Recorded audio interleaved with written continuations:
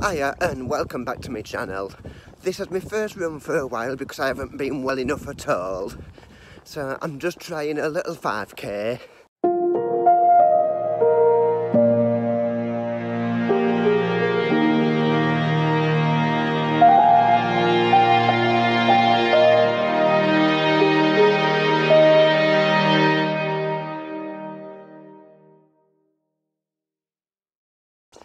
I'm not going to talk much. While I'm trying to run. Because like I said I haven't been well. And it's hard enough breathing as it is. Never mind trying to talk at the same time. But I'll do my best. I'll catch up with you all in a bit. Let you know how it's going. I'm about a mile in. Besides being a bit out of breath and a bit sweaty I seem to be doing okay my legs feel fine. It's just breathlessness at the moment, which I was expecting with obviously not being able to do any training at all for the last three, four weeks.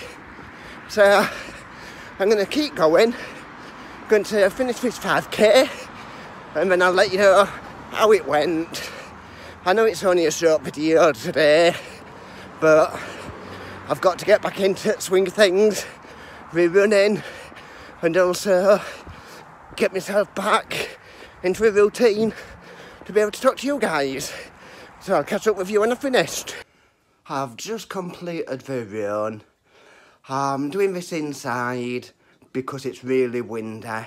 I do apologise over the glasses as they react to light and they haven't gone back to normal as yet. And if I take them off, I can't see if I'm in focus or not. The run went good. I'm out of breath and really hot as you can see. I'll put my stats on screen now of the run.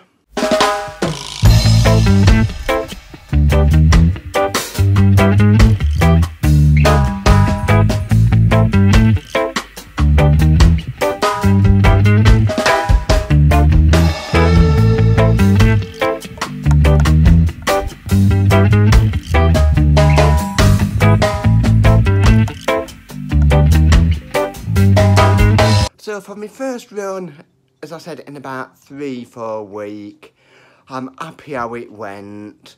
Not running has made me feel down in myself.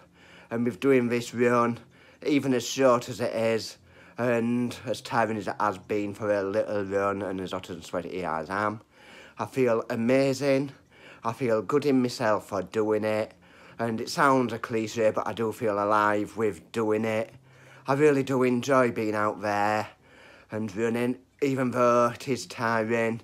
Do get hot, do get sweaty, but you do get one hell of an eye from doing this. I know people think I'm mad for doing it, and people definitely think I'm mad with still doing it even though I've been ill. But I've got to carry on. I'm not going to let things beat me, whether it's illness or anything. I don't see the point. It's get on, do what I love.